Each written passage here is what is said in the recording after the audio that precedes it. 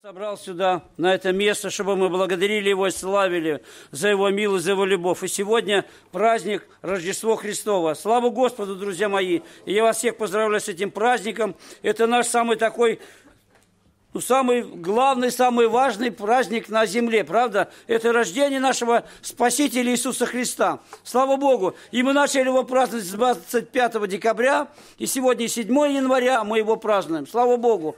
Друзья мои, почему? Потому что Христос, не только Он в эти дни родился, Он родился в наших сердцах, друзья мои. Когда мы его приняли в свое сердце и сказали, Иисус, войди в мое сердце, Он родился в наших сердцах. Слава Богу, правда? И вот для нас каждый день праздник Рождества Христова можно праздновать, правда? Почему? Потому что мы рождены через Его Слово, через Его благодать мы получили этот мир радости спасения. И эта радость, это спасение, оно всегда пребывает в нас. Почему? Потому что мы радуемся. Мы всегда радуемся в Господе, правда? Трудно ли нам, плохо ли нам, мы обращаемся к Нему, и Он помогает нам, дает нам силы и способности победить, преодолеть все эти вот препятствия, все эти недуги, правда же? Почему? Потому что, ну, без Бога, как в пословице есть в мире, без Бога не до порога. Ну, а без Бога, знаете, нам, вы сами знаете, мы, нам теперь без Бога никуда. Куда мы без Бога теперь? Мы без Бога куда шли? Прямой, широкой дорогой в ад. Я так скажу прямо, вот не скажу, что погибель, а прямо скажу в шли прямой дорогой. Но Господь нас развернул на 180 градусов и направил нас на свой путь. На путь спасения, на путь истинный и на путь благодатный. Слава Богу, друзья мои. Но этот путь нам, вы знаете, он не говорил, что он будет услан вам большими красивыми цветами. Но путь будет узкий и тернистый. Но, друзья мои, слава Богу, 2016 год уже мы вступили в него уже седьмой день, года. Помните, а, когда мы переходили с 20 на 21 век, кто был, может быть, на ночной молитве, Ильин Петр говорил такие слова. 2001 год и второй год еще как бы было откровение, еще благодать будет действовать, и еще будет как бы мир на земле, все, будем жить. А дальше как Бог усмотрит. Слава Богу, Бог усматривает. 16 год настал, а мы живем. Хорошо нам, правда? Нас здесь не трясет в Сибири. Мороза, слава богу, как сегодня заговорили мы о морозах. Вадим говорит, да чего эти морозы? Может, кто-то просто так, а просто, знаете, ну, Господь, мороз, не мороз, а сегодня мы собрались здесь, правда? Слава Богу. Почему? Потому что так Бог устроил. Зато летом тепло нам будет и жарко. Опять будет, э, где-то кто-то будет, ой, как жарко, будем роптать или что-то. Но, друзья мои, ропотники Царства Божьего не наследуют нам будет всегда хорошо. Я думаю, вы знаете, когда Петр говорил на горе преображения, говорит, хорошо нам здесь быть, правда? Ему ничего уже не надо было, ни кущи ничего не нужно было. Он говорит, хорошо нам здесь быть. Тебе, мы еще или кущи, а нам их так хорошо. Слава Богу, нам хорошо, правда? Хорошо нам здесь быть. Почему? Потому что здесь пребывает Бог. Духом Святым и в истине, и в наших сердцах. Слава нашему Господу. Но я хочу зачитать перед молитвой, как это происходило, рождение Иисуса Христа. Евангелие от Луки, 2 глава, с 1 стиха. В те дни вышло от кесаря Августа повеление сделать перепись по всей земле. Эта перепись была первое в правлении Кверения и Сирею – и пошли все записывать каждый в свой город. Пошел также Иосиф из Галилеи, из города Назарета в Иудею, в город Давидов, называемый Вифлеем, потому что он был из дома Ирода Давидова, записаться с Марией, обрученную ему женою, которая была беременна. Когда же они были там, наступило время родить ей. И родила сына своего первенца, и спеленала его, и положила его в ясли, потому что не было им места в гостинице в ясли положила. Знаете, для нас, которые мы в сельской местности жили, мы знаем, что такое ясли, правда? Там, где живут животные, там, где, понимаете, так вот, такие, все такое, ну, неблагоприятно для жилья. Но Христос вот там родился. Христос там родился, понимаете? Вот так вот он родился, слава Господу. И он, не, в нем не было ни вида, ни величия. Правда, как э, мы читаем э, у пророка Исаия 53 главе нет в нем ни вида, ни величия. Но, друзья мои, вот он родился без вида, без величия. Тот великий, который спас весь мир. Слава Господу, друзья мои. И вот смотрите, и дальше я читаю 8 стих и ниже. В той стране были в поле пастухи, которые содержали ночную стражу у стада своего. Вдруг пристал ангел Господень, и слава Господня сияла их, и убоялись страхом великим. И сказал им ангел, не бойтесь, я возвещаю вам великую радость, которая будет всем людям. ибо ныне родился вам в городе Давидом Спаситель, который есть Христос Господь. Не в царские четроги явился ангел, правда, и сказал, так, царь, Ира, там все другие, там все, идите, Христос родился. Нет, он явился простым людям, простым людям, пастухам, которые пасли стада, друзья мои. И вы знаете, Христос, когда в свое время явился наши сердца, вот таким, знаете, незамеченным таким людям, которые грешники мы были с вами, но Он явился в наши сердца, явился и открылся нам в духе и в истине – Слава Богу, правда? И он открылся, и мы поверили, что вот он может спасти нас. И когда мы поверили, и когда сказали ему, Господь, прости нас, измени нашу жизнь, води наши сердца, и он изменил это все. Правда же? Изменил это все. Из пьяниц сделал нормальных людей, из блудников сделал нормальных людей, изо всех сделал нормальных людей. И слава Богу, сегодня мы благодарим Его за это и славим, правда же?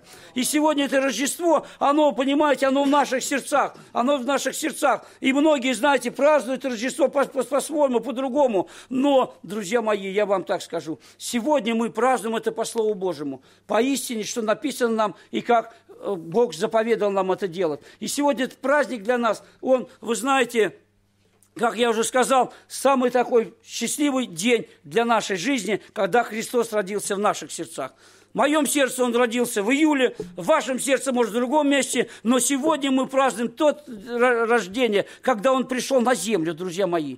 Пришел на землю в облике младенца, в облике человека, и, знаете, и вот возрастал, да, и потом начал производить труд. Слава Богу, друзья мои. И это пастухи, вы знаете, наверное, сильно были рады. Они не поняли сначала, что ангел сказал, ну пошли и посмотрели, правда?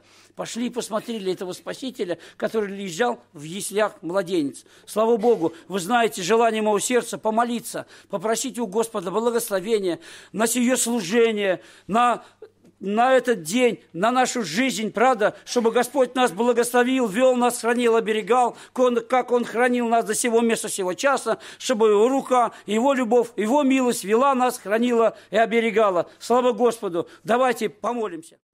Я знаю, Бог не ошибается. Я знаю, Бог творит, что нужно.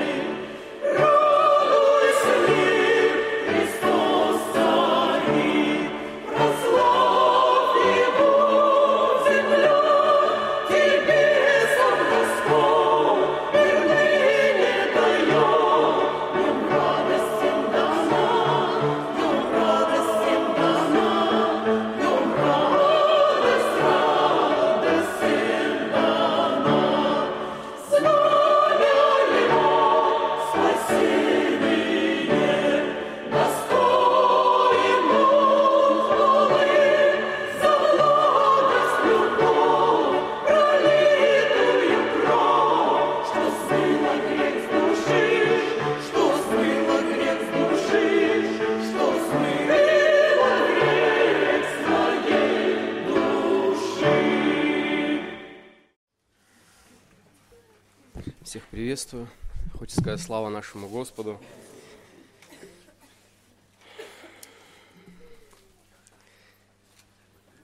Читаю Священное Писание, это первая глава от Иоанна.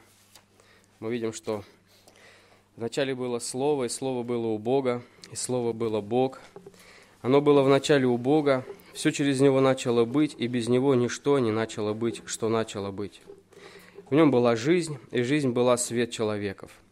И свет во тьме светит, и тьма не объяла его. Слава нашему Господу.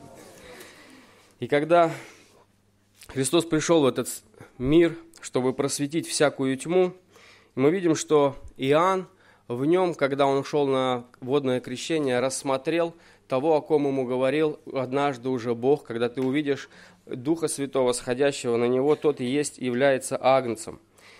И смотрите, в 30, 20, 33 стиха.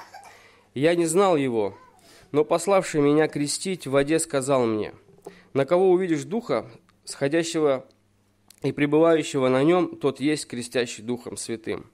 И я видел и свидетельствовал, что сей, что сей Сын Божий».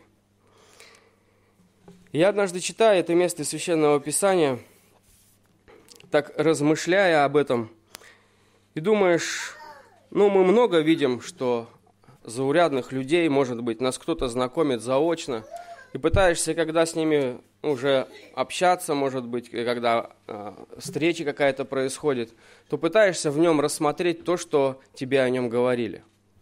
И мы видим, что Иоанн, он о ком-то свидетельствует, о том, что когда-то получил от Бога свидетельство – что тот-то и тот-то придет, на него посадет Дух Святой в виде ангела, и ты это все будешь видеть.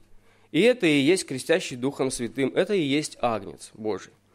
И дальше, смотрите, написано, «И я видел и свидетельствовал, что сей есть Сын Божий». На другой день опять стоял Иоанн и двое из учеников его. То есть у Иоанна были свои ученики. И он, и увидев идущего Иисусу, сказал, «Вот Агнец Божий». Другими словами, я лично получил для себя откровение, что родился Бог, родился Агнец, который возьмет грех всего мира. И приходят мои ученики, ну я так на себя, да, учеников знакомлю. Вот я лично получил, вот это есть, является Агнец. Но ученики почему-то, они были, видать, с холодным умом и с таким же сердцем – и мы читаем, что на другой день опять стоял Иоанн и двое из учеников его. И увидев и идущего Иисуса, сказал, вот Агнец. Ну, другими словами, познакомил. Вот он, он и есть. Услышав от него сии слова, оба ученики, ученика пошли за Иисусом. я задумался, думаю, ну как, каким способом или каким образом, что они, почему они пошли. Но вот они идут и, по всей вероятности, за Иисусом наблюдают. Иоанн со своей стороны знакомит его с Иисусом и говорит, вот Агнец Божий. Они идут за ним, и дальше Иисус же, обратившись и увидев их идущих, говорит им, что вам надо? я думаю, интересно, он знакомит с Агнцем, он понимает, что он пришел взять тяжесть всего греха, греха этого мира, но когда они следуют за ним, они говорят, он говорит им, что тебе надо от меня, что вам надо от меня. И я так подумал и слово свое назвал наша вера. И действительно, что вера, она ну, не созиждется на пустом месте, она, это такое слово, оно фундаментальное, она с чего-то начинается – и вот начинается закладка фундамента. Это мы видим Иоанн, увидел в Иисусе Христе этот фундамент, краеугольный камень. Он с этим краеугольным камнем стро... э, знакомит. На этом краеугольном должны строить строители.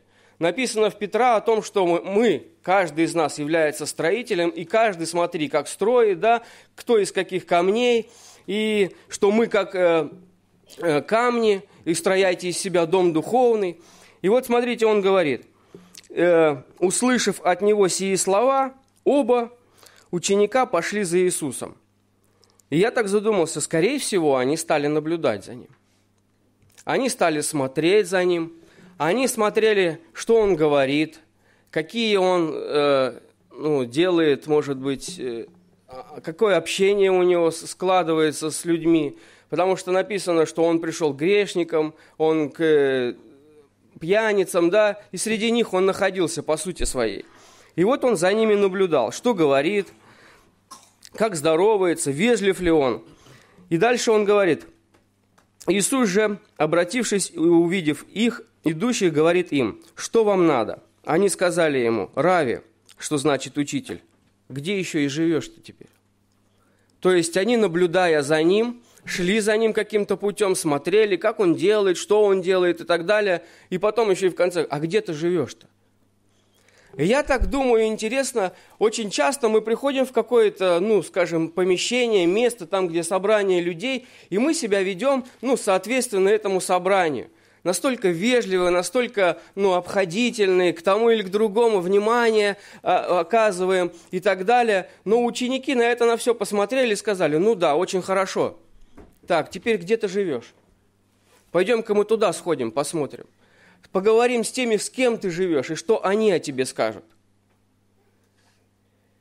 И наша вера бывает порою, что она подобна или очень похожа на тех фарисеев, которые выходят на углы улиц, выходят на какие-то э, общественные места для того, чтобы они были видны для всех, для того, чтобы сказали о них, что это действительно люди богобоязненные, любящие Бога, что они, вот посмотрите, на всяком месте совершают молитвы, совершают и те, и другие дела. Ну, а по сути Иисус говорит о них, что они гробы окрашены. Только делают для того, чтобы это было видимо для всех.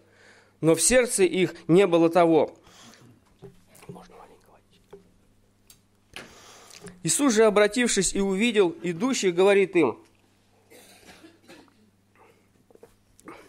что вам надобно? Они сказали ему, Рави, где ты живешь? Говорит им, Пойдите и увидите. Они пошли и увидели, где он живет, и пробыли у него день тот, было около десятого часа. Один из двух, услышавших от Иоанна об Иисусе и последовавших за ним, был Андрей, брат Симона Петра.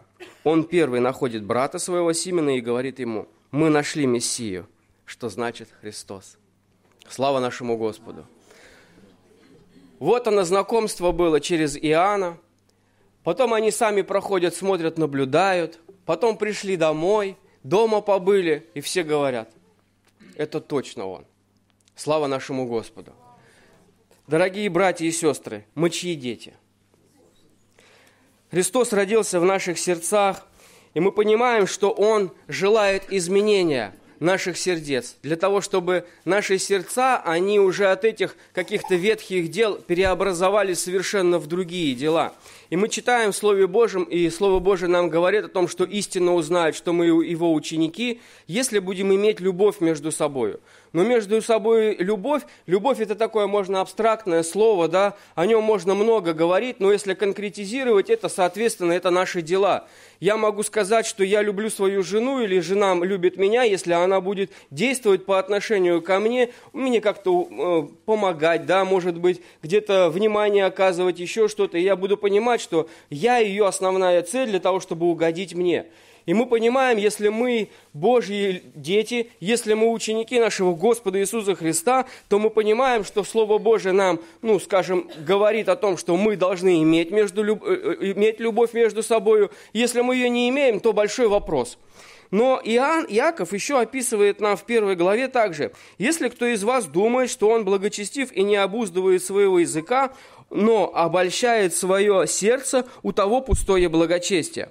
И чистое и непорочное благочестие пред Богом и Отцом есть то, чтобы презирать сирот и вдов, и в их скорбях и хранить себя неоскверненным от мира. И в греческом вот это слово благочестие, оно переводится как вероисповедание или религия. А с армянского оно переводится как религия любы. То есть понимаем, о чем это слово говорит – и когда ты думаешь, что чистая и непорочная твоя вот, э, любовь к твоей религии или твое вероисповедание, оно о чем говорит? Оно нам говорит о том, что перед Богом и Отцом есть то, чтобы презирать сирот и вдов. Но я задумался и думаю, презирать, ну это значит видеть, да, их к ним подходить, участвовать, может быть, как-то словом или и так далее. Но в армянском переводе это слово говорит презирать, это значит посещать посещать сирот и вдов. То есть Слово Божье нас учит, чтобы наша вера, наша любовь к нашему Богу, наши взаимоотношения с Богом, они строились на взаимоскрепляющих связях между собою – чтобы мы прежде своими делами подтверждали, что мы действительно являемся, и у нас мы, в нашем сердце присутствует именно та религия, или, скажем, та любовь к Богу, да, которая действует в нашем сердце любовью и делами. И мы читаем же во второй главе э, Иакова, он говорит, а кто если брат или сестра наги и не имеют дневного пропитания, а кто-нибудь из вас скажет им, иди с миром, грейся и питайся, но не даст им потребного для тела, что пользы. И мы порой действительно бывает в нашей жизни, что подойдет какой-нибудь человек, или, может быть, мы усмотрели, но у него есть, существует какая-то нужда, и у нас сразу вопросы. Написано, покажите в вере вашей, и начинаются мы показывать своей вере. Сначала рассуждать начинаем, потом думаем, ну, может быть, вообще это ему повредит и так далее. И, и говорим, ну, мы не можем тебе в этом помочь. Но он говорит, если мы видим человека, который нуждается, действительно, мы рассмотрели, может быть, вникли немного, да, о том, что какая у него на сегодняшний момент сложилась проблема, и в этой проблеме поучаствовали, то мы действительно являемся детьми Божьими. Если мы ему говорим, иди грейся, иди питайся, Бог по тебе позаботится, я буду молиться о тебе, ну, большой вопрос, кто мы? И дальше он говорит, как и вера, если не имеет дел, мертва сама по себе. Но скажет кто-нибудь, ты имеешь веру, а я имею дела. Покажи мне веру твою без дел твоих, а я покажу тебе веру мою из дел моих. Ты веруешь, что Бог един? Хорошо делаешь. И, бо, и бесы веруют и трепещут. Вот все эти события, которые описывают Слово Божие, о том, что мы говорим, и сейчас любого спроси человека, ну, проходящего мимо тебя, какой сегодня праздник, он скажет Рождество Христово, он спросим у него, веришь ты ли в Иисуса, он скажет, конечно, я верю, но при всем при этом о, Слово Божие говорит, что бесы-то тоже веруют, и они сто процентов веруют, не как мы. Мы, бывает, еще и колеблемся. Мы думаем, может быть, получится, а может и не получится, а может я помолюсь, может быть, сбудется, а может и не сбудется. Может, Бог ответит, а может и не ответит. Но написано в том, что а бесы, они сто процентов веруют. И плюс ко всему они еще и трепещут. Они ожидают этого пришествия нашего Господа Иисуса. Они знают, что Он родился. Они знают, что все, что о них э, сказано уже в Слове Божьем, оно сбывается. Они трепещут от этого. Но у нас бывает порой наше сердце очень далеко от этого отстоит. И мы заботимся сегодня больше об этом, ну, скажем, что обо мне подумают, как бы мне, как бы мне бы послужили, как бы обо мне бы сегодня еще позаботились, как бы на меня бы посмотрели, обратили внимание и так далее и тому подобное. И другими словами, мы все, ну, скажем, делаем так эгоистичным, окружая себя какой-то заботой. Но окружая себя заботой не то, чтобы люди тебя окружали, а сам на себя натягивая это внимание. Да поможет нам всем Господь. И дальше мы читаем. «Ну, хочешь ли знать, не основательный человек, что вера без дел мертва. И мы понимаем, что нам необходимо, как детям Божьим, чтобы наши руки, они прежде всего укрепились, и наши сердца, они ну скажем, искали нуждающегося человека, для того, чтобы мы могли послужить тем светом, которым мы прочитали. Пришел свет для того, чтобы что сделать? Рассеять всякую тьму, слава нашему Господу. И рассматривая среди людей такого человека – который вокруг нас, может быть рядом с нами, но мы почему-то его не усматриваем. И тот свет, который в нас пришел через Иисуса Христа, прежде всего вошел в нашу жизнь. Наша жизнь изменилась, и дальше Бог хочет. Мы читаем в 11 главе Евреям о том, что описано, что вера же есть осуществление ожидаемого и уверенность в невидимом. И может быть, ну, осуществляем мы, э, ожидаем того, что э, придет когда-то. Мы об этом думаем – но я думаю, что больше это можно сказать осуществление перемен в твоем сердце. Может быть, ты когда-то был только на себя внимание обращал, только бы о тебе бы заботились человеки. Но другая перемена, когда вера в тебе производит такое действие, когда ты ожидаешь именно этих перемен для того, чтобы твое сердце служило окружающим людям. Слава нашему Господу. Чтобы мое сердце, оно принадлежало небу. Чтобы мое сердце, оно здесь на земле не укоренялось, потому что мы здесь временные жители. Слава Господу. Что наше здесь, не здесь наше жительство, и здесь нам нечего укореняться. Наше жительство на небесах. 14 глава, я много раз повторяю и знаю, что это для меня любимое место. Что Он пойдет приготовить ушел для того, чтобы приготовить место для нас для того, чтобы мы были там, где Он находится. И наша вера, она в том укрепляется, что Христос однажды пришел в мир, просветил этот мир своим светом, вошел в святое святых, и теперь одесную Бога Отца является ходатаем за тебя и меня, для того, чтобы мое и твое сердце преобразовалось, преизбыточествующей этой любовью по отношению к друг к другу прежде всего и к окружающим людям. Слава нашему Господу! Чтобы та вера, вера, которую Христос пришел, это не было любовью моей к религии, чтобы я не был, ну, скажем, только лишь э, внешним христианином, которым, ну, я улыбаюсь, я говорю да, но в доме своем я не, нахожу, не являюсь таковым, я злой, мои дети не хотят со мной иметь никакого отношения, никакого общения, они от меня отворачиваются, я, не, я когда домой захожу, они уходят в другую комнату и так далее и тому подобное. Но я знаю, что когда ко мне придут мои гости, подобно как и сказали ученики э, Иоанна о том, что ну-ка, где-то ты живешь, то я знаю, что когда ко мне зайдут, они увидят, что дети очень сильно любят меня и любят тех гостей, которые к нам приходят. И меня облепят, и его облепят, того, кто ко мне пришел. Слава нашему Господу.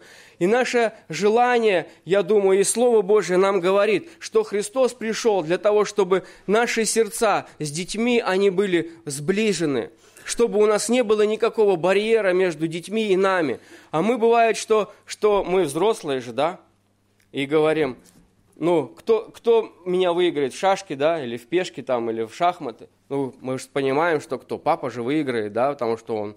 Но любовь, написана, она не превозносится, слава нашему Господу. И Христос не превознесся, а Он пришел и этой любовью послужил каждому из нас, слава Иисусу. И Он, это вера, которую Он принес тебе и мне, чтобы мы не были лишь только набожными людьми для окружающих, читающими Слово Божие, молящимися и так далее и тому подобное, а служили действительно своей жизнью, чтобы это все было, служило нашему Господу, чтобы те э, действия, которые производит в нас благодать Божия, чтобы она действительно была обращена к окружающим нас людям. Я хотел бы вместе с вами помолиться. Поблагодарить нашего Господа за Иисуса Христа, что Он дал нам действительно через Него рассмотреть, что действительно для каждого из нас является вера, чтобы мы могли рассмотреть среди Него, через Него, что значит любовь для каждого из нас, чтобы мы могли, обращая на Него, также служить, как Он служил нам. Слава нашему Господу, помолимся.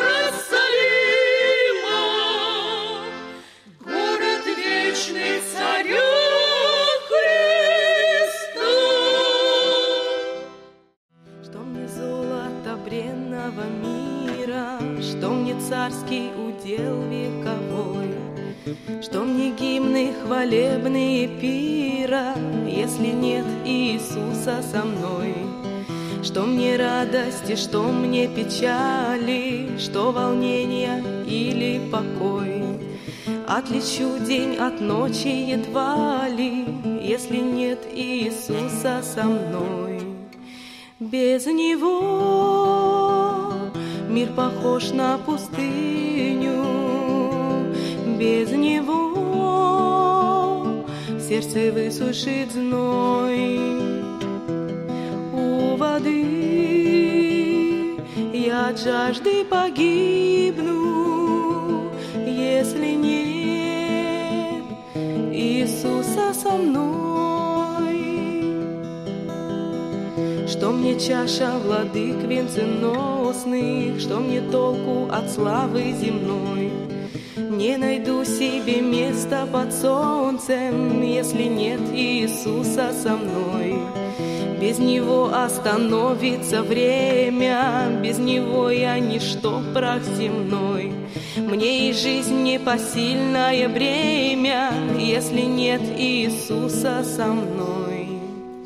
Без него мир похож на пустыню, без него сердце высушит зной.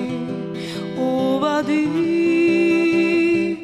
от жажды погибну, если нет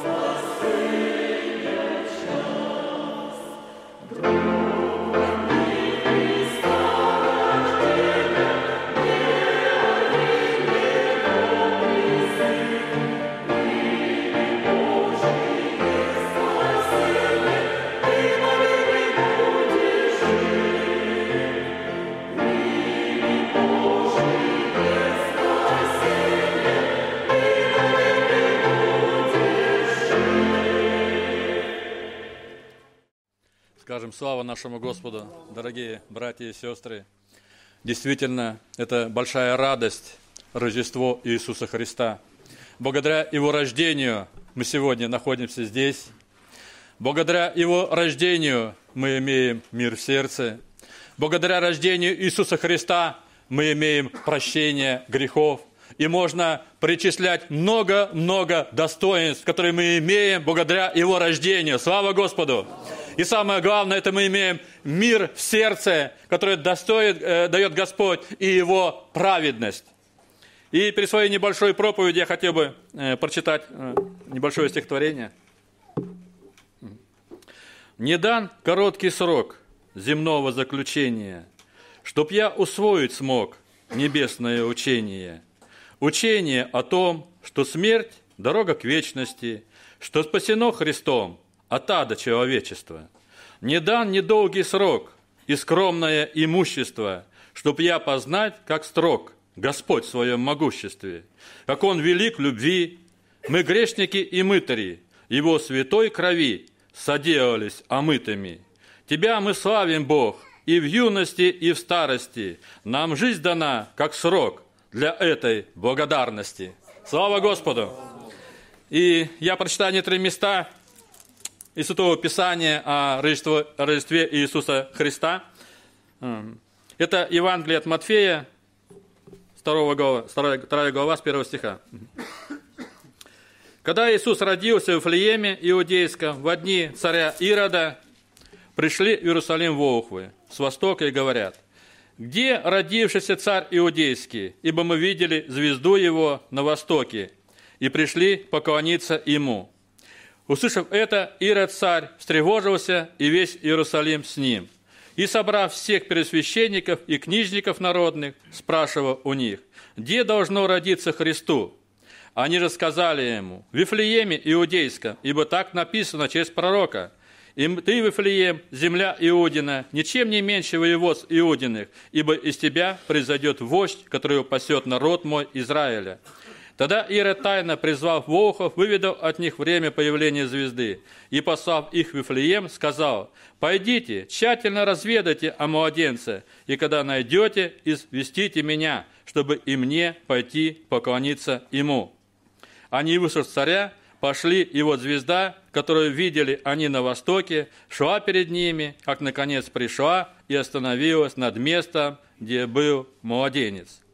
И мы также знаем историю когда ангелы явились э, пастухам, и было извещено им, что родился Спаситель Иисус Христос.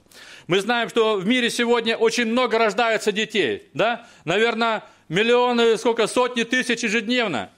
И практически мало кто знает об этих детях. Ну, может быть, родственники рядом, окружение там, близкие, папа, мама.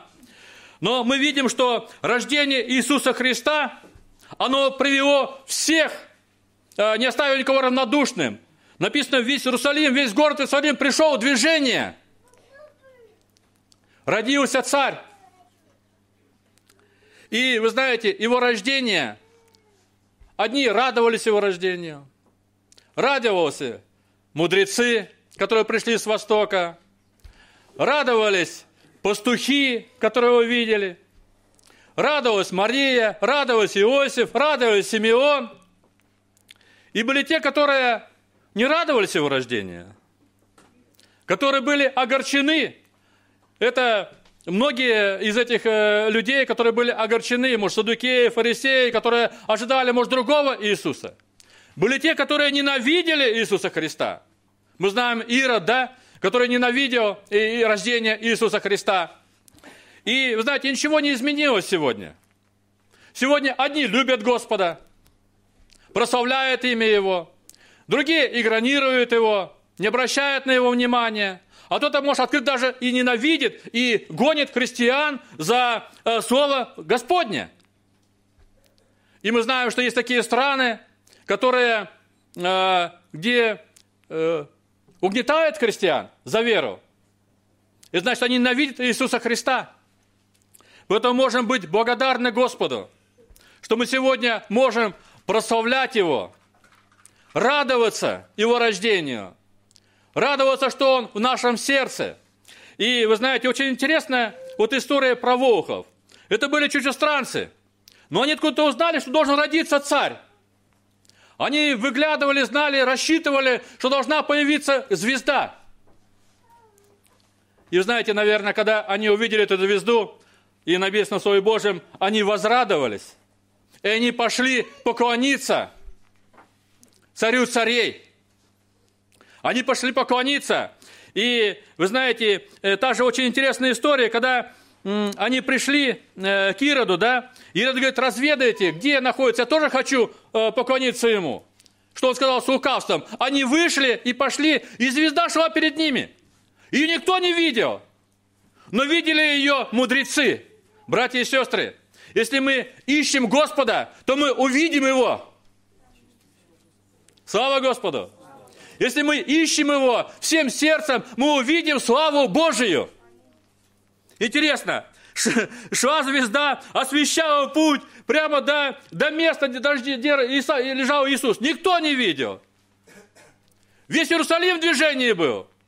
Ирод э, негодовал. Он желал узнать, где именно находится младенец. Но мудрецы видели. Почему?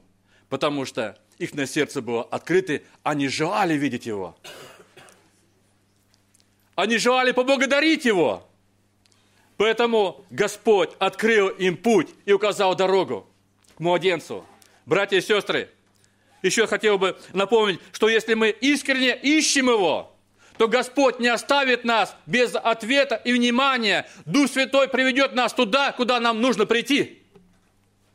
Слава Господу! И в заключение небольшой пробователь хочу сказать, что самое важное, мы еще, может быть, не осознаем – Бог дает нам свою праведность. Благодаря Его праведности у нас, нам открыта дорога в небо. Мы, может быть, еще не оцениваем это, но мы оценим это, когда окажемся на небесах. И в заключение хотел привести такое свидетельство небольшое. Одна э, сестра, это на, где-то на Ближнем Востоке, и она попала в катастрофу, и автобус упал с горы, и она э, умерла. Потом Господь вернул ее. И она свидетельствовала, когда я пошла на небеса, и со мной еще были люди, и у нас были белые одежды. И Христос показывал вот это прекрасное место пребывания святых. И так было там чудесно и прекрасно и хорошо. И так было радостно. И у нас были все такие красивые белые одежды – и когда Господь возвращал ее обратно, и она была на границе вот этого духовного физического мира, и она увидела, как много с земли поднимается людей, и в белых одеждах, и в черных одеждах. И они как магниты, которые в черном одежде, они идут туда, где мрак. А те, которые в белых одеждах, они поднимаются на небеса к Господу. И вот на этом переходе, говорит, одна женщина, которая Э, поднималась вот именно э, духовный мир. Она узнала меня, подошла ко мне и говорит, я умерла. У нее была черная одежда. Я не хочу туда идти, где мрак. Дай мне свою одежду. Я хочу одеть твою одежду и пойти там, где хорошо. Там, где Господь. И она говорит, хорошо, бери, бери мою одежду. Я дам тебе. Она, может, не понимала что-то. Я, говорит, попыталась снять эту одежду. Несколько раз пыталась, но она не снимается. Я потом поняла, что эта одежда – это сияние от моего тела. Это праведность Божия, которую невозможно снять. И потом ее, эта женщина, как магнитом, она э, пошла там, где мрак. А я вернулась, э, э, жизни Господь вернул для свидетельства. Поэтому слава Господу за одежду Божию – которую невозможно, никто не может снять. Это как, э, как пропуск в небеса. Поэтому будем дорожить праведностью Божией. Не позволим украсть ее. Не позволим снять с нас. Но будем дорожить ей. И благодарить Господа за Его праведность, за это прекрасное Его рождение – за омытие, за прощение, за мир, за благодать и за многое-многое. Аминь. Непостижимы Божьи пути, И мысли Божьи, не наши мысли, Как небо выше от земли, выше и прекрасней Божьи мысли. О мой Господь, как благодарен я Тебе, Что Ты так любишь и благословляешь, Что в Иисусе Ты открылся мне, Что Ты со мною рядом обитаешь. Для каждого из нас Он ставит цель и говорит, иди, и я пойду с тобою. И не страшись ты трудностей, потерь, Не спорь с Христом назначенной судьбою. О мой Господь,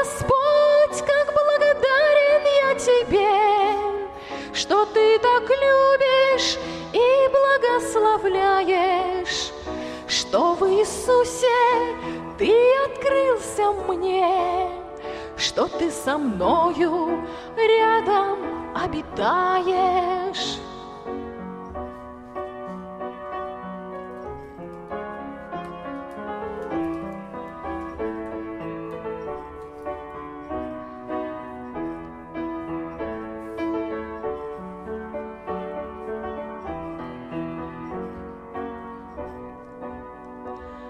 Ведь путь мой самый лучший для тебя. Доверься мне, всегда я буду рядом. Хоть иногда вокруг лишь темнота И воет буря шквал с дождем и градом.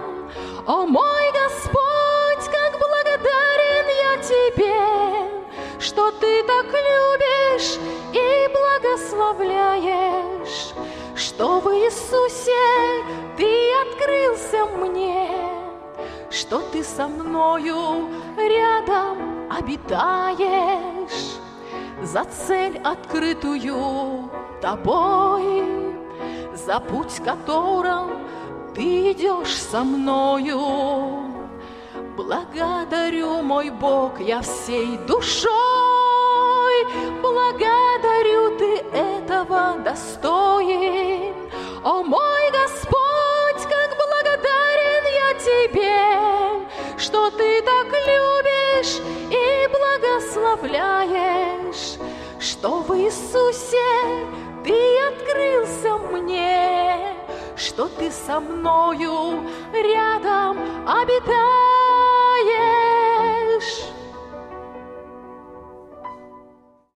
Знаете, я уже 20 с лишним лет э, молюсь все время, и, и так иногда меня, думаю, молюсь как бы все время одной молитвой. Благодарю Господа за то, что Он изменил жизнь мою. Ну а потом думаю, ну а что я еще могу? Ну на самом деле, если сравнить, мне довелось пожить и во времена атеизма, мне 55 лет, как бы уже э, большая жизнь за, за плечами, скажем так, опыт есть. И во времена вот этой свободы, которая пришла, так, значит, для нашего блага, для моего личного, раз я уже о себе как бы свидетельствую. И вы знаете, и вот учит Бог, и я благодарю, что я сейчас не лежу дома и не умираю с похмелья с глубокого, как было 20 лишних лет назад. И, и, и я вообще думаю, вообще было бы это или нет? Может быть, уже давно бы, я уже где-то там бы. Вот, потому что, ну, жизнь показывает как бы, что что есть, кто есть кто, и что, и что вообще происходит в жизни. Я думаю, ну надо же, какая благость и милость Божья. Мир живет, а церковь потихонечку созидается. И об этом не объявляют в законе, в газете, да, где-то там раз вот закон вышел, вот такое-то число вошло уже. Нет, оно просто само собой так потихонечку идет, идет, ковчег этот идет наш, мы туда заходим, заходим, и когда-то же закроется эта дверь. Вот. И я сегодня утром еду на служение, и так благодарю, думаю, в городе так мало э, движения, я потихоньку еду. Ну, Господи, как я тебя благодарю, вот ты меня учишь, я еду в служение. Сейчас бы я могла быть дома где-то там, а, значит, если бы я в мире жила. Вот. А я еду в служение и думаю, Господи, одна только мысль приходит, если верующий в меня не постыдится, она мне придает такую силу.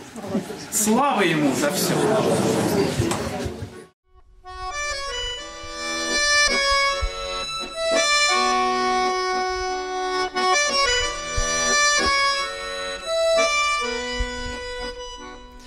Хочу я быть, Христос, с тобой.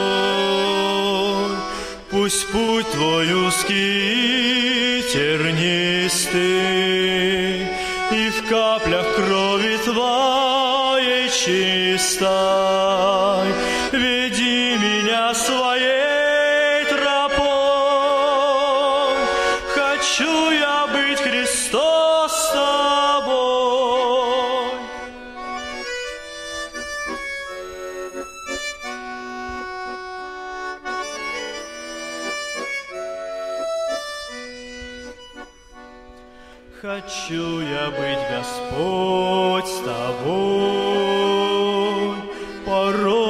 аж ко мне до боли, Нести свой крест земною доли, Но сердцу ты даешь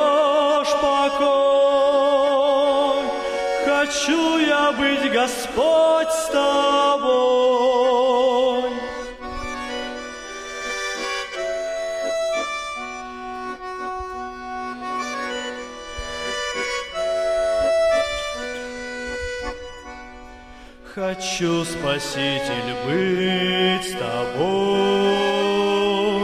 В минуты злые искушения Борьбы жестокой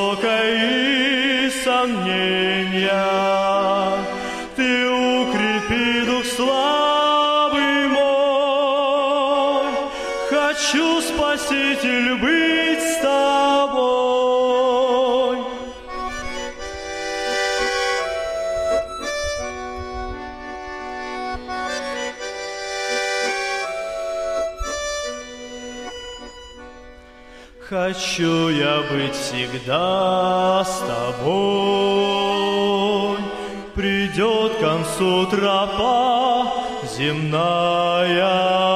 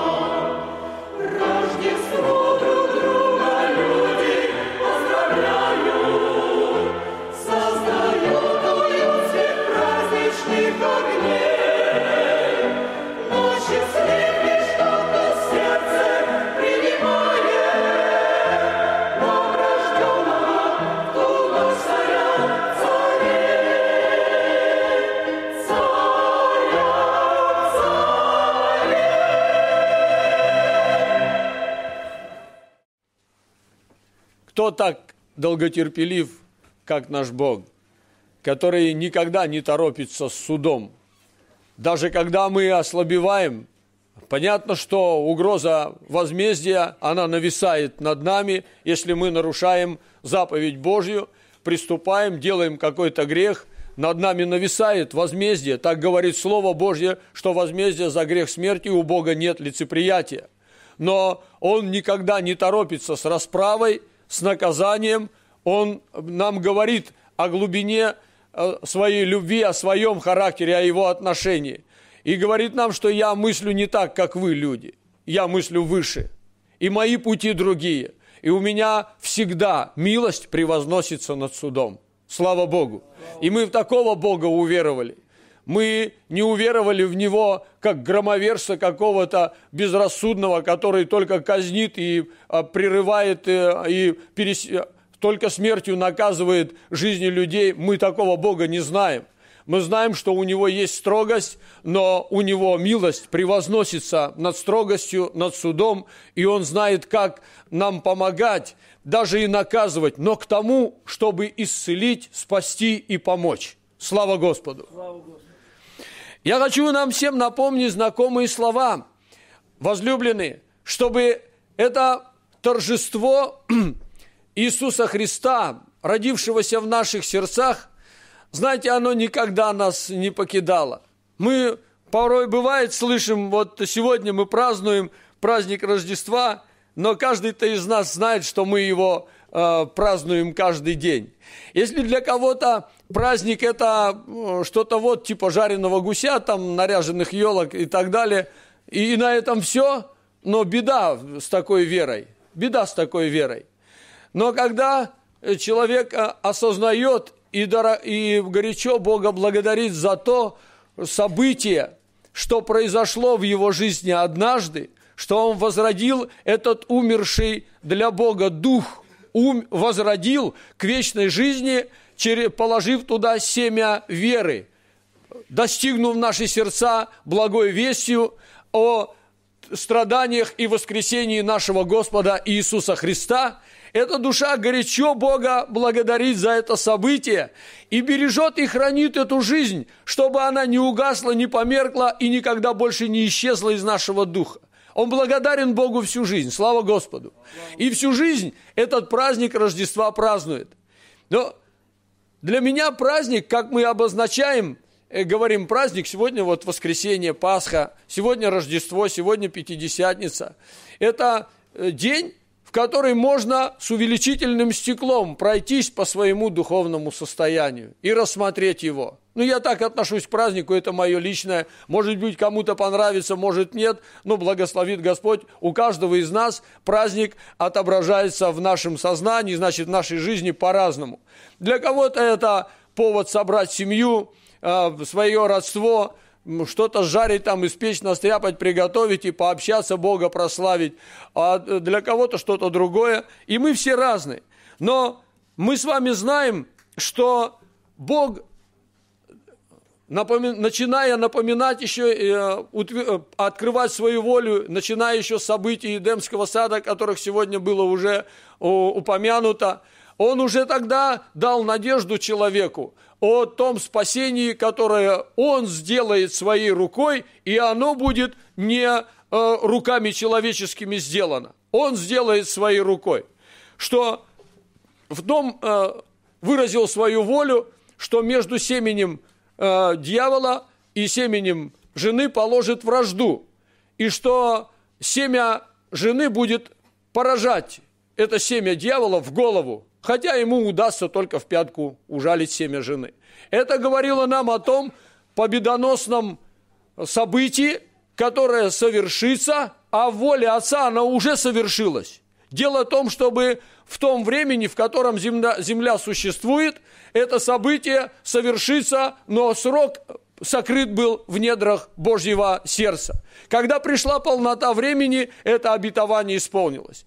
И еще задолго до этого Бог через пророков а, свой народ а, ставил в известие, что Он пошлет спасение, и оно будет даровано, как сказано было в пророчестве Исаии, через младенца, указано было на это, я хочу прочитать из книги пророка Исаия, из 9 главы, 6 стиха. «Ибо младенец родился нам, сын, дал, сын дан нам, владычество на рамени его, и нарекут ему имя чудный, советник, Бог крепкий, Отец вечности, князь мира, умножению владычества его и мира нет предела на престоле Давида и в царстве его, чтобы ему утвердить его и укрепить его судом и правдой отныне и вовеки. Ревность Господа Саваофа соделает это сказано пророчески через этого мужа о том, что через этого младенства, младенца, которому дадут э, имя, и оно уже наречено, такими, такими значимыми словами чудный, советник, Бог крепкий, Отец вечности, князь мира. Речь не идет о князе мира сего, а о том владычестве, что миром Божьим он будет распоряжаться и посылать его, а, как имеющий полномочия великие, князь этого мира Божьего. И когда сказано, что умножению владычества его нет предела, и умножению владычества мира Божьего нет предела, мы порой прочитываем эти слова, да и, ну, сказано, сказано было, жаль, что Израиль в это не поверил. Но обратим с вами, друзья, внимание, что когда Христос говорит о том блаженстве, которое дано верующим в Него, и кто поистину истинно счастлив в глазах Бога, то читаем в Евангелии от Матфея в пятой главе, где он говорит, что блаженные миротворцы, это пятая глава Евангелия от Матфея, и мы читаем в девятом стихе, блаженные миротворцы, ибо они будут наречены сынами Божьими. Опять миротворцы. Но в современной нашей жизни у нас бывает э, в первую очередь всплывает в головах вооруженные люди в голубые каски одетые, как бывает часто мы видели где-то в каких-то новостях и так далее, на картинках каких-то журналов. И вот и о них сказано миротворцы, миротворцы. Думаем, да, такой мир-то нам как бы, который гранатометами и танками приносится, с натяжкой и назовешь вообще миром, так, условное что-то. Оказывается, Слово Божье говорит о э, по- понятии мир, как у нас везде одним словом в синодальных Библиях переведено, о разных вообще э, событиях. Одно дело, словом мир названо событие мирных отношений, в которых нет вражды, нет вооруженного противостояния. Ну, там с любовью, без любви, другой вопрос. Главное, не летают пули друг в друга, и люди существуют, ну, говорят, мирно. Другим словом, мир называется как э, обще- общество людей. Когда мне одна бабушка, мы делали у нее одну работу, и она мне рассказывала, что когда ее будущий муж вернулся с фронта, ну, мы знаем, что была такая Вторая мировая война, и э, взял ее себе в жену, она тогда была молодая, а он э, такой уже, ну, постарше ее намного, почти что усыновил ее. Ну, тогда была ситуация сложная. И он, говорит, меня предупредил. Было нам очень тяжело сначала, он меня предупредил. Попробуй хоть одного ребенка изведи. Я, говорит, тебя убью тогда. Я видел, столько мира погибло. Столько мира погибло. Люди десятками тысяч на его глазах становились мертвецами. Вот большое количество людей или обитание людей называется тоже а, таким вот словом «мир». Другое слово а, греческое тоже написано у нас, переведено как «мир», но греческое слово написано «космос». То есть околоземное пространство, космос тоже переведено у нас как «мир». Но еще одно греческое слово – «ирия», которое в еврейском, в еврейском языке «шалом» обозначает гармоничное существование. Как бы это словами выразить? Гармоничное существование творения с Творцом. И вот обозначается вот этим словом. Шалом или греческое слово «ирен». От, слов, от этого слова и имя есть Ирина. Кто из вас Ирины, вот улыбнитесь и поблагодарите Бога внутри. Вам дано мирное такое имя. И вот это, -то, это тоже сияние славы Бога. Им обладал человек когда-то, но сегодня уже было нам упомянуто об этом, что из-за своего своеволия, грехопадения человек потерял божественный мир. Он потом начал называть миром разные вещи. Вот тут мирные отношения, руки пожали, а за спиной там моргнул, давай бей его. Вот так и, и вот это вот все, мир растеряли. Но э, как-то статистики подсчитали, вот о тех э, временах, которые мы говорим сегодня, брат Иван сказал, а нас, слава Богу, не трясет, не подкидывает здесь. И да, здесь войны нет у нас. Но когда кончилась Вторая мировая война, 1946 года, до э, сегодняшних дней, оказывается, всего 26 или 25 было мирных дней, в которых в общей сложности и то, такого времени, которое собра... которого хватит всего на 26 суток, э, в которое пули не летали или и там не стреляли. Но за это время уничтожено в результате боевых действий до 30 миллионов человеческих душ. А называется мирное время – нет мировой войны. В том понимании, как бывает, люди представляют, а, бомбы сбрасывают, и идет э, народ на народ, держава на державу. Такого нет.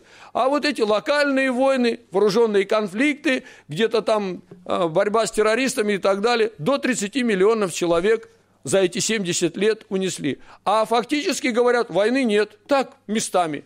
Так что же это за мир, когда нас так эта действительность пытается обмануть? Говорит, что войны нет, а 30 миллионов унесло. И всего 26 суток было без выстрелов. Поэтому мы видим с вами, что объявления вот этих все «мир, мир», да, мира-то нет. Но обращаем с вами внимание на слова нашего Господа Иисуса Христа, которые записаны в Евангелии от Иоанна, мы читаем с вами в 14 главе, где Христос, воскресший, э, приходит к своим ученикам, прошу прощения, в 20 главе, где он воскресший приходит к своим ученикам и по воскресенье своем э, с 19 стиха. В тот же первый день недели, вечером, когда двери дома, где собирались ученики его, были заперты из опасения от иудеев, пришел Иисус и стал посреди и говорит им, «Мир вам!» Сказав это, он показал им руки, ноги, ребра свои – Ученики обрадовались, увидевшие Господа.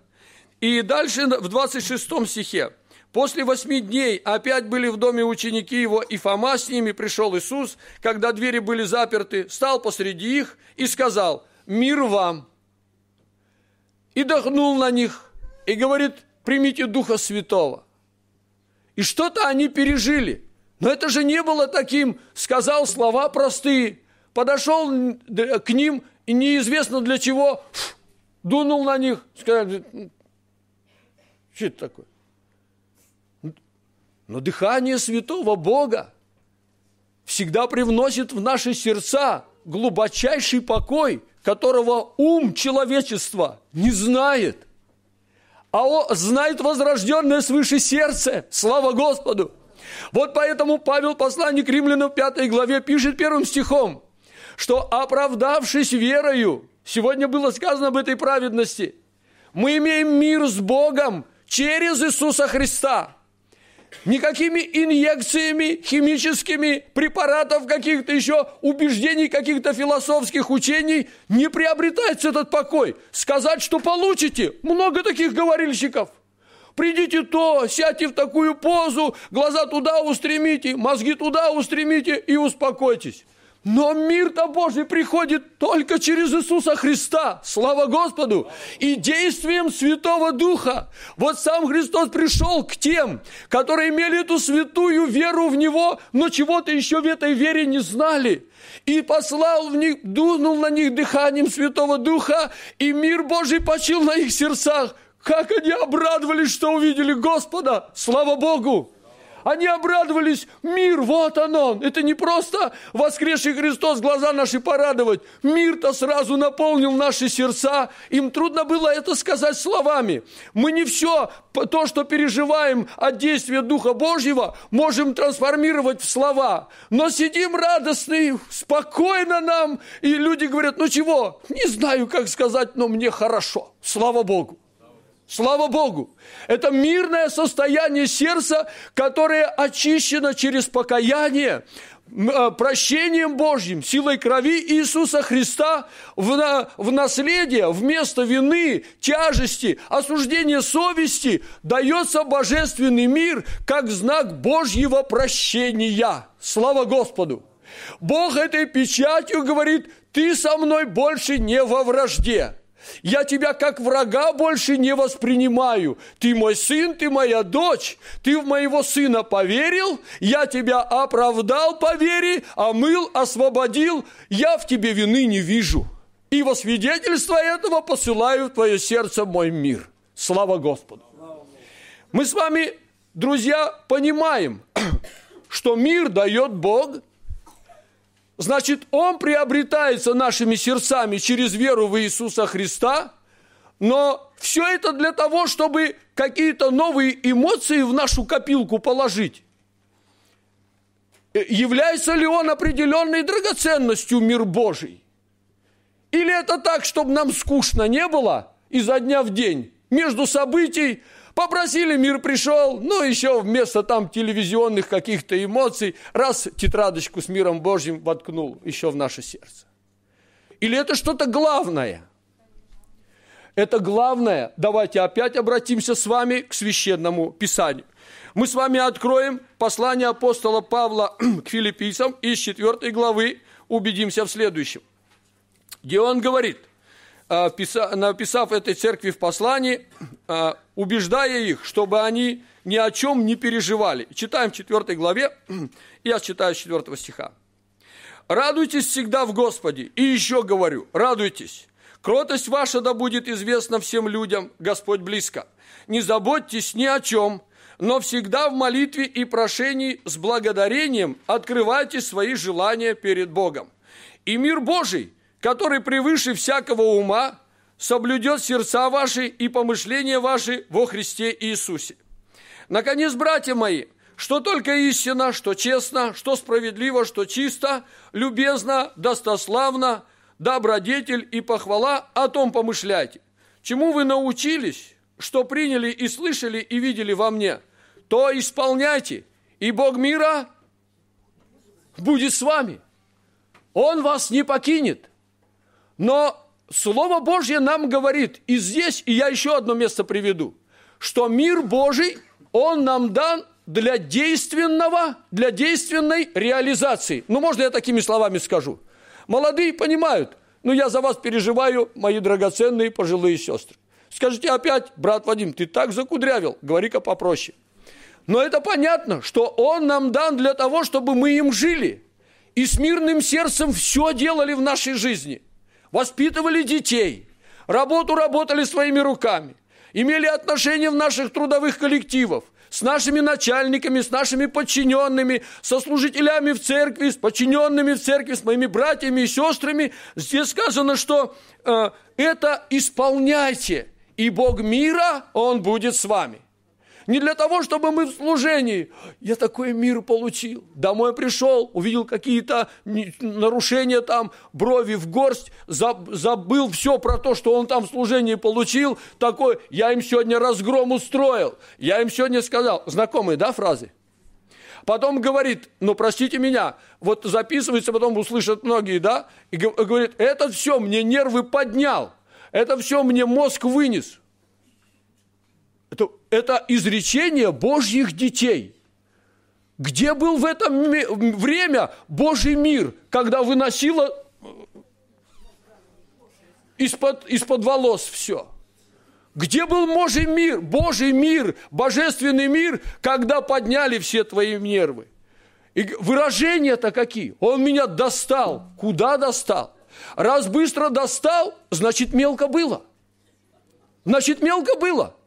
То нас маленьких приводили купаться туда, где называли лягушатник, где там по колено воды, что наверняка не утонут. Ну так там быстро дна достанешь, там трудно было купа- плавать научиться. Чтобы плавать научиться, надо на глубину. Вот когда глубокие наши отношения с Богом, тогда нас шибко-то и не достанешь. Мы успокаиваемся в Боге и храним божественный мир, который дан нам Богом. Потому что воспринимаем его как великую драгоценность, полученную от Бога. И Слово Божье говорит нам через апостола Иакова, который пишет следующее, что плод правды в мире сеется у тех, кто хранит мир. Плод правды в мире сеется у тех, кто хранит мир. Это послание Иакова, 3 глава, 3 глава, 18 стих. «Плод же правды в мире сеется у тех, которые хранят мир». Это приводит нас к третьему пункту. Получив, и первое мы понимаем, что Бог решил восстановить свой мир в сердцах людей. И делает это вот так. Второе, мы, говорим, мы поняли, что через веру получили этот мир от Бога через веру в Иисуса Христа. Убедившись еще тем, что читал сегодня брат Иван, напоминал нам из второй главы Евангелия от Луки, где небо открылось, и внезапно с ангелом явилось великое множество воинства Божьего, которое восклицало с великой радостью «Слава Вышних Богу на земле! Мир!» Ириан! Ириан! Не космос, ни бомбы не летают, а на земле мир – божественный, он пошел теперь к людям, потому что в человеках благоволение. Слава Господу! А теперь, получив на нас возлагается ответственность хранить Божий мир. Павел говорит, как хранить? Слово Божье говорит, что оказывается плод правды сеется среди этого мира через жизнь тех Божьих детей, которые умеют хранить мир.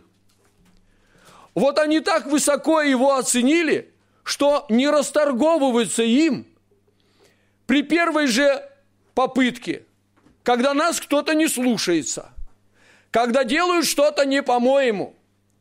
Я пришел домой уставший, пыльный, грязный с работы, не удалось пообедать, работа только давила и давила, надо было ее закончить. Прихожу домой, а ко мне еще с претензиями. Там что-то дома тоже произошло, и ко мне еще с претензиями. Ты чего, время-то сколько? Уже звезды на небе, все, ты все работаешь и работаешь. И вот тут вот до глубины, где там, сколько глубокого. Э, есть у нас, если мир там есть, ну мы мирно скажем, да извини, сегодня так получилось, что-то я, ну, вот так получилось. Если нет, ты бы сначала узнала, да ты знаешь, что со мной было, да там так нарисует, а вы тут ходите, просидели дома весь день, ничего не делали. Ну вот, вот и все. Но, но тогда плод правды, друзья, он не посеется, он высеваться не будет, потому что незрелое, а незрелое оно не высевается. Но когда зрелое, оно при нажиме высеется, высеется семенами правды. И мы придем с вами дальше к следующему пункту о том, что сказал Христос. В пятой главе Евангелия от Матфея, 9 стихом. Блаженны миротворцы, они назовутся сынами Божьими. И дочерями не об этом сказано, что только сыны, а дочерей нет. Вы понимаем этот вопрос. Когда приходишь, и обстановка, никто ее не может успокоить. Но туда помещается Божий человек и ведет себя так, что зло куда-то деется все, и наступает мир божественный. Отвечает на вопросы так, что люди успокаиваются, конфликт угасает. Туда пришел миротворец – у которого в сердце божественный мир, и он на него, на, на нем почивает, и он принес его. О чем Иисус сказал в дом, в который войдете, посылая на проповедь Евангелия своих учеников. В какой дом войдете, приветствуйте его такими словами. Мир дому сему. Если там есть кто? Не расслышал. Если там есть сын мира – если там есть Сын мира, то мир ваш там никуда не денется. Вы понимаете, друзья, это очень важно. Потому что Павел говорит, смотрите, насколько это важно. И тогда мир Божий, который превыше всякого ума, при всякого вычисления, там, умственности и так далее развитой, он, написано, соблюдет и сердца, и помышления ваши во Христе Иисусе. И никакой тревоги нам Слово Божье говорит, не подчиняйте мир Божий, который я вам дал. Посмотрите обетование через Исаию, которое дано. Владычеству, умножение владычества мира его нет предела. А если мы выходим из себя при маленьком нажиме, мы показываем обратное. Нет, Бог, твое пророчество, оно не такое уж и отчетливое и ясное. Ты что-то перепутал. Вот силы твоего мира во мне не хватило, чтобы перебороть гнев вот моего сына, моей дочери, моей жены, моего мужа или той женщины в автобусе, которая меня толкнула очень сильно. Могущества твоего мира на это не хватает. Да не хватает в твоем и моем сердце, потому что там мира Божьего мало было. Я не заботился сохранить. Я не заботился сберечь. Мое оказалось выше Божьего мира. Вот оно и проявление такое. Но плод правды, написано, Яков говорит, сеется в мире этом у тех, которые умеют хранить мир. Умеют хранить мир. И некоторым приходит, говорит, брат Вадим, вот все, все понимаю, но все очень плохо, я опять раздражился, я наскандалил, я там всем сказал, теперь все грустные ходят. Я говорю, а мир Божий где? И вспоминает, я вижу, человек сидит, вспоминает, когда он там был у него вообще. Так обозначился ярко, что он э, понял, да, ой, мир Божий, как он приятен. И не помню. Это трагедия, возлюбленные. Ведь если мы так оцениваем мир Божий, что готовы при первом нажиме расторговаться им, лишь бы свое получить, это для нас трагедия. Это мы так высоко ценим Христа по отношению к нашим, нашим вещам. Потому что мир Божий, Он соблюдает нас во Христе. Если я им не дорожу, то я не дорожу, в принципе, пребыванием во Христе. А пребыванием дорожу в моем, в моем эго, лишь бы по-моему, вот тогда все мирно, когда меня по шерсти гладят, образно говоря. Но когда я дорожу пребыванием во Христе, тогда буду соглашаться с тем, что на меня жмут, мне причиняют страдания, меня судят несправедливо, что-то, простите за такое слово, отжимают у меня то, что я, ну, привыкли мы говорить, это мое. Мир Божий мне дороже, чем эти тысячи машины, деньги, кровати, дети, животные. Мир Божий дороже. Мир Божий дороже. Аминь. Он, он свидетельствует нам о том, что мы во Христе сокрыты. Возлюбленные, если мы этим не дорожим, то те грядущие бедствия на всю Вселенную просто растерзают наши сердца если мы не будем сокрыты в Божьем мире, потому что это надежная охрана Бога от всякого рода зла. Слава Господу! Как мы должны оценить Божий мир и беречь его, хранить его, постоянно возгревать в своих сердцах. Исайя также, э, э, я сейчас не помню это место, нет, это через пророк Иеремию было сказано, где Бог обращается к своему народу и говорит, что если бы э, ты ценил слова мои, жил по слову моему, то мир мой был бы в тебе, как э, волны морские, правда была бы. Как река был бы в тебе. Ты бы мог это промывать, побеждать любые происшествия. И говорит, что это удел праведника. А вот Слово Божье говорит, нет мира нечестивым. Когда есть нечестие в нашей жизни – когда мы его допускаем, вот тогда мир Божий теряется. Нет мира нечестивым, проникло какое-то нечестие. Как можно быстрее нужно от него избавиться, потому что я рискую быть вне присутствия Христа, растеряв Божий мир. И тогда открыт для воздействия всех сил зла, демонических сил, они могут мне очень глубоко и надолго повредить. Чтобы этого не случилось, я должен оценить свое состояние и вернуться в Божий мир, вернуться в Божье присутствие, начиная своего, со своего размышления. Слово Божье говорит, что о сем помышляйте, о сем помышляйте, и Бог мира будет с вами. И в наших отношениях апостол Павел пишет в послании к Колоссянам, или Колосинам, как будет правильнее, наверное, что это наше призвание. И он говорит об этом в третьей главе этого послания, что вы да владычествует в сердцах ваших, третья глава, 15 стих, в сердцах ваших мир Божий, которому вы и призваны в одном теле, и будьте дружелюбны. В церкви Христовой, в отношениях между святыми должен владычествовать мир Божий умножению владычества его. Вспоминаем и пророчество Исаи. И мира его нет предела. Слава Господу! И он говорит, в ваших отношениях должен владычествовать божественный мир. Вы к этому призваны. Это ваше наследие, это ваше призвание. Живите и умножайтесь в нем, и будьте друг к другу дружелюбны. Я убежден, есть нам что поправить.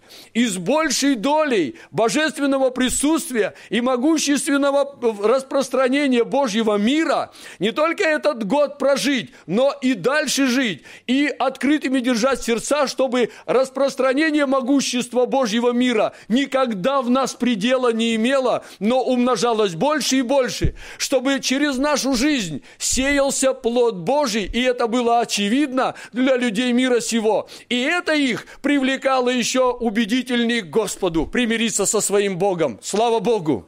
Возлюбленные, с этой надеждой и с этой молитвой мы обратимся к нашему Богу с благодарностью. Аминь.